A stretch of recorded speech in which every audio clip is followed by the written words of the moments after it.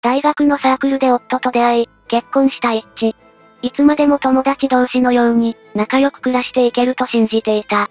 しかし、お互い30代に入った頃から、だんだん心がすれ違ってしまう。とうとう離婚寸前の大喧嘩までしてしまう二人。その頃から、夫の出張がだんだん増えてきた。疑いを深める一致だったが、夫は巧妙に立ち回って尻尾をつかませない。だが、ある事故をきっかけに、夫の裏切りに一致は気づくことになる。交通事故にあった、渋滞の夫と浮気相手、手術中に離婚届を出してやった結果。同じ30代の主婦の人、いるかな？夫とうまくいってないので、相談したいんだけど。うまくいってないって、どういう風に？うーん、例えば、家にいても会話ないっていうか。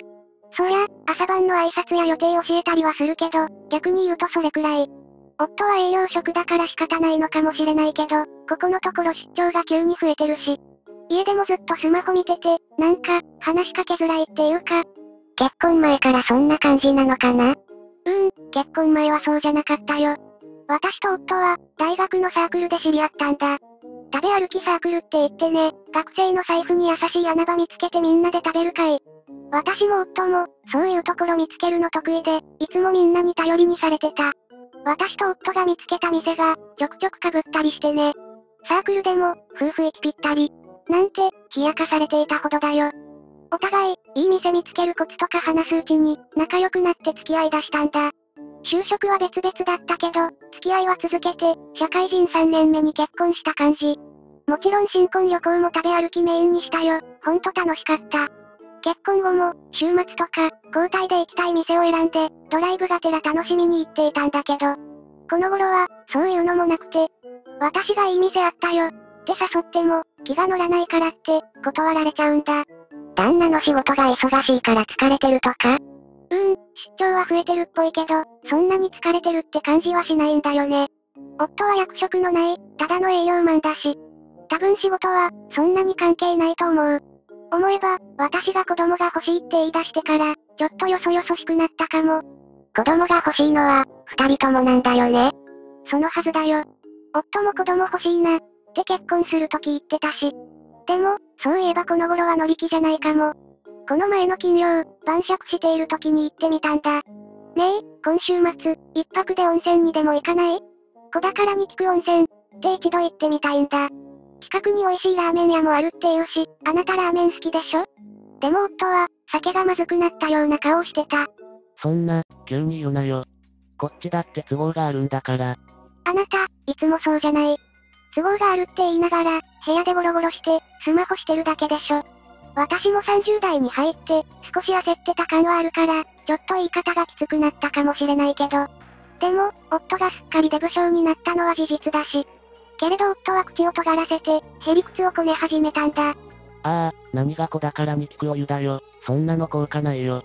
大体、そんなこと言われたら、ムードも減ったくれもないじゃん。男は繊細な生き物なんだよ。いい加減そのくらい、理解しろっての。って言って、晩酌を途中でやめて、部屋にこもっちゃった。私もムカついたから、ここしばらくは冷戦状態なんだよね。でも、このままじゃいけないと思って、何かヒントでももらえたらと、相談したんだ。そうなんだ、それは困ったね。思うに、子供欲しいっていう思いの強さが、一致と旦那じゃ違うんじゃないかなうん、私もなんとなくそう思う。子供が欲しいと、どのぐらい思ってるかってことか。私は年齢のことがあるから、今すぐでも欲しいんだけど。でも夫は、違うのかもね。わかった、そこのところ、もう少し夫婦で話し合ってみることにするよ。その方がいいよ、検討を祈る。アドバイスを受けて、子供について、夫婦で話し合おうとする一致。しかし夫は、話し合いを拒否した挙句、とんでもない行動に出る。一致の願いも虚しく、二人の心は離れていくばかりだった。数ヶ月後、一致は再び相談者として現れた。もう、離婚の危機かもしれません。お、どうした？一致？夫に、子供についてどうしたいのか、かなり真剣に話したんだ。私、もう30代半ばなのよ。あなたも子供を持ちたいなら、真面目に考えないと、いけないと思うの。ねえ、どう思ってるの？でも夫は、相変わらずうんざりした顔を、見せるだけだった。右手にはスマホ持ったままだったし。またその話かよ、しつこいなまたって、大事な話じゃない。そりゃ、いつかは欲しいと思ってるよ、俺だって。でもそんな、子供子供って、焦んなくたっていいじゃん。焦るよ、だって産むの私じゃん。思わず口調が厳しくなったら、夫も険しい顔になった。産むのは私って、偉そうに。そういうこと、ケンケン言われたら、嫌になってくるって、わかんないそんなに産みたかったら、他のやつの子でも産めば？はぁ、夫が何言っているか、さっぱりわからなかった。私がほうけている間、夫は寝室に行って、何か取ってきていた。そして、それを私の目の前に放り出したの。記入済みの、離婚届だった。夫はなぜか、得意げな顔をしていた。それ書けば、いつでも他の男、探しに行ってもいいよ。お前でもいいから、自分の幸運で欲しい奴が、日本のどっかには、いるだろうからな。って、言って、スマホ片手に寝室に行ってしまった。私は、なんか力が抜けて、ずっと離婚届を見つめてたんだ。離婚届を渡されるほどのこと、私したのかなって。その日は寝室に行く気力もなくて、リビングで寝ちゃった。でも、もっと頭に来たのは、翌朝になってから。嫌だったけど朝ごはんの支度してたら、夫がすすって近寄ってきて、な、反省したか？って、いきなり言ってきたの。はぁ、反省したって、どういうことよ。私が頭に来て、喧嘩腰で言ったら、夫はまあまあって素振りをしてさ。あの離婚届は、ほんの冗談だよ、冗談。お前があんまり子供子供ってうるさいからさ。な、ああいうことされたくなかったら、もっと俺に気を使えよな。そしたらお前に、子供を産むチャンス、あげたくなるかもよ。そうだ、あの紙は捨てとけよ。じゃ、仕事行ってくるわ。って、言うだけ言って、朝ごはんも食べず、家を出て行っちゃった。言い返すこともできなかったから、腹渡が煮えくり返るようだったよ。でもこの日から、あからさまに会話が減ってしまって。まあ私も、こんな夫と話す気がなくなってるんだけど。もう私たち、無理かもな、ってちょっと思ってる。それは当然だと思うよ。旦那脅しに離婚届って、やることひどすぎる。ひどいよね。でもあの離婚届は、捨てずに持っておこうと思うんだ。何かあった時のためにね。そうだね、それがいいと思うよ。夫が離婚届を脅しに使ったことで、ますます夫婦の関係は冷え込んでしまった。漠然と離婚を考え出した一致のもとに、驚愕の知らせが入る。なんと夫が、出張中に事故に遭い、重傷を負ったというのだ。駆けつけた一致が見たのは、涙に暮れる夫の浮気相手の姿だった。あの、夫さんの奥さんですか？一石切ったような電話がかかってきたのは、ちょうどお昼休みのことだった。え、あ、はい、そうですが。いぶかしむ私に構わず、相手は早口で話し出した。今すぐ、C 病院に行ってください。夫さんが、事故に遭って重体なんです。え？えなんとか電話をかけてきた同僚から話を聞き出すと、夫は自分の運転していた車用車で事故ったらしい。高速道路を走っていて、ハンドル操作を誤ったようだ。車は大破し、夫は車体に挟まれてしまったという。私は慌てて上司に断り、早退すると、同僚から聞いた C 病院に向かった。しかし、手術室前に駆けつけると、なぜか先客がいた。手を握りしめ、心細そうに座り込んでいる女性だった。手に絆創膏を貼り、頭には包帯を巻いている。あの、夫の同僚の方ですか？私が声をかけると、その女性はパッと振り向いた。そして目を伏せ、衝撃の言葉を口にしたのだ。すみません、私一緒に車に乗ってたんです。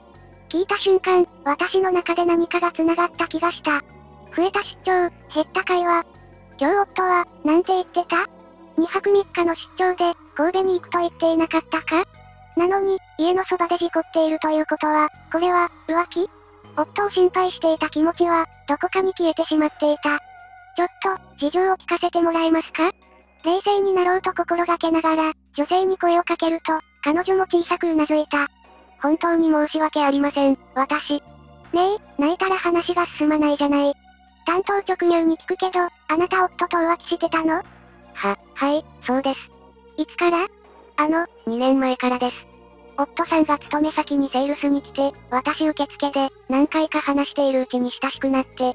ちょっと待って。セールスに夫が来たってことは、あなた、取引先の人なの？あ、はい、そうです。これはまずいだろう、と私は思った。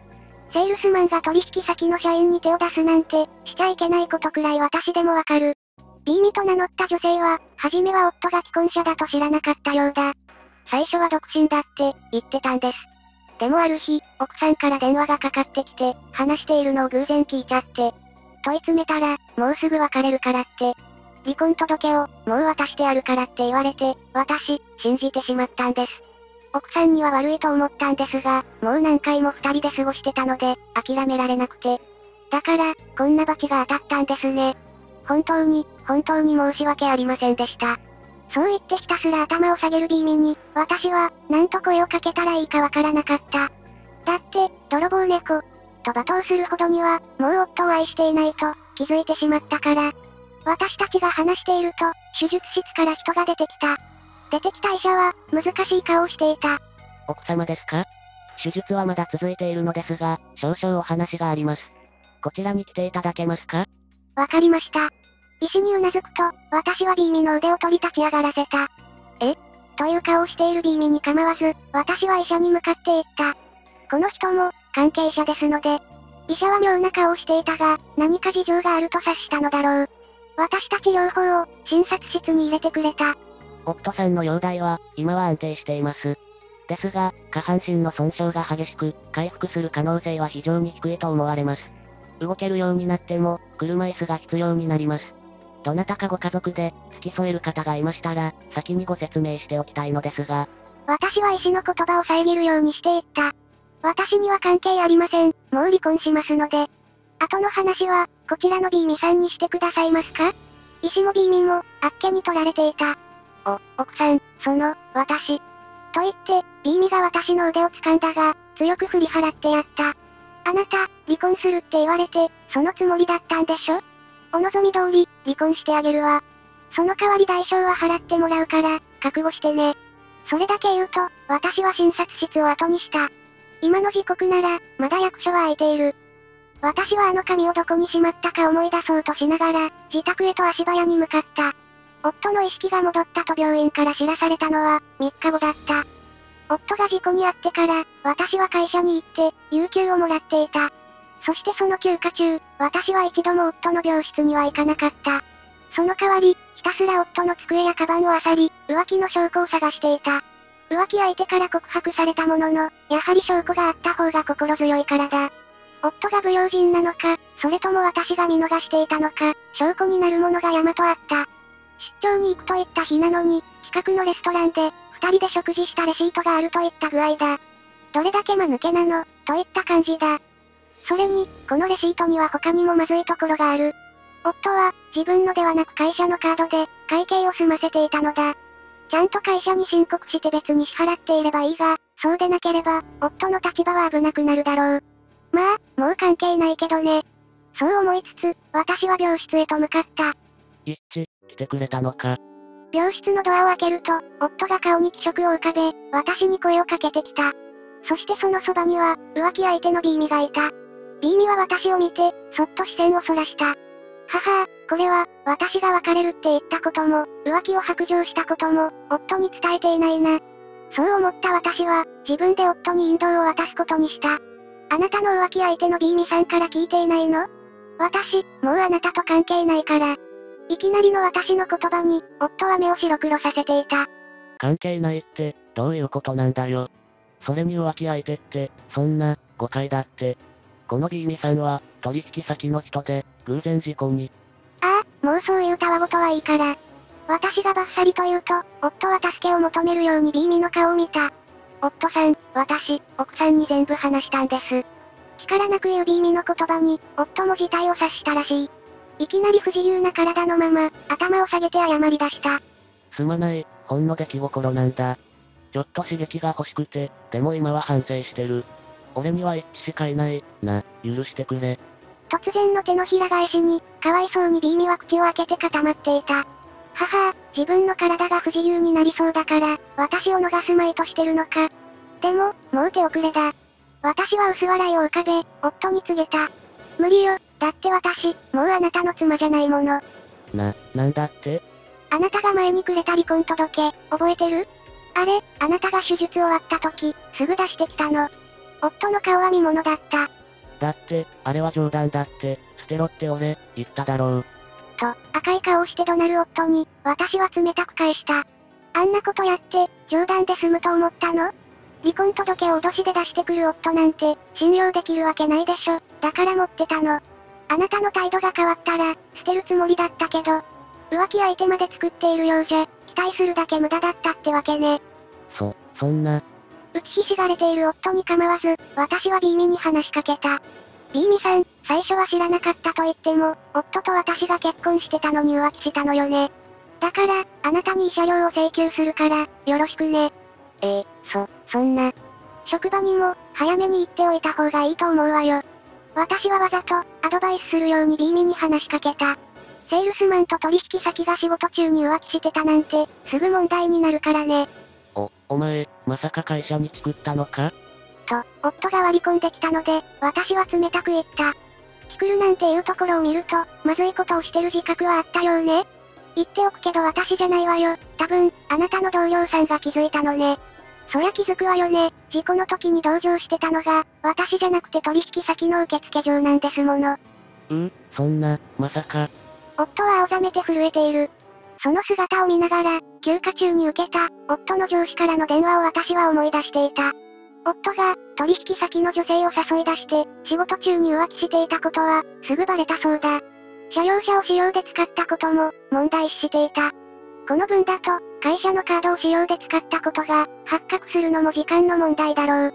上司は何度も、奥さんには申し訳ないことになる、と謝っていた。しかしもう私には、夫がクビになろうと、訴えられようと、どうでもいいことだ。夫にはこれから、針のむしろより辛い毎日が、待っていることになるだろう。ああ、そうそう、言い忘れてた。あなたにももちろん、慰謝料を請求するから。リハビリしながらでいいから、ちゃんと払ってちょうだいね。と、付け加えるように言ったが、ショックを受けている夫には聞こえていないようだ。私は肩をすくめると、ビーミに後はよろしく、と声をかけ、病室を出たのだった。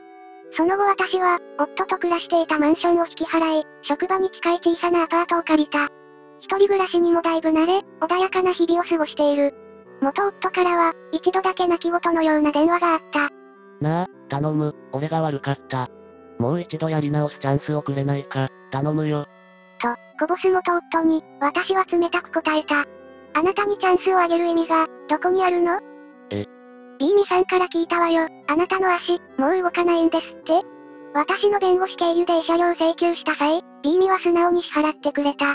そして謝罪をしたいと言い、わざわざ弁護士事務所まで来て、私に謝ったのだ。本当に申し訳ありませんでした。私、今更ながら自分のしたこと、悔やんでいます。会社もクビになっちゃったけど、自業自得です。そう、これからどうするの？ビーミは寂しそうに笑うと、料理に帰ります、と言った。夫さんにとっては、私は遊び相手だったって、よくわかりましたから。反省しながら、両親の商売の手伝いをして、暮らそうと思ってます。夫と一緒に、私を騙してくれたけど、もう彼女に恨みはなかった。私は彼女に、元気でね、とだけ言って別れたのだった。ビーミさんは反省しているのに、あなたと来たら、聞いたわよ、会社、クビになったんですって？まあ当然よね、業務中の浮気に、経費の使い込みまでしてるんだから。おま、なんでそれを？会社もクビになって、足も動かせない。そんなあなたに、チャンスを与える意味ある？あなただって、子供が欲しいって言った私に、離婚届突きつけたじゃない。私があなたの願いを叶えてあげなくても、当然よねだ、だから、悪かったって謝ってるじゃないか。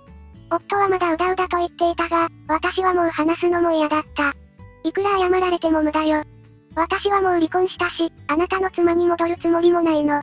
あなたからの慰謝料は、大学時代を思い出して、食べ歩きにパーッと使っちゃうことにするわ。出歩いていれば、私に自分の子供を産んでほしい、っていう物好きが現れるかもしれないしね。ちょっと皮肉っぽく言うと、元夫はかつて自分がした発言を思い出したのだろう。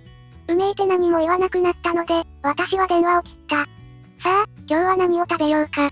長文になったけど、最後まで聞いてくれてありがとう。浮気相手も目が覚めたんだな。夫は一人ぼっちか、ざまあ。チャンスをくれって、自分はあげなかったくせにな。